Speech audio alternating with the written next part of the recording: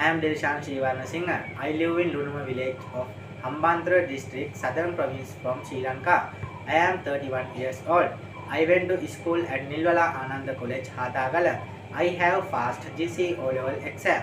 I have work experience as an able seaman in Sri Lanka Navy from 7th February 2011 to 5th May 2023.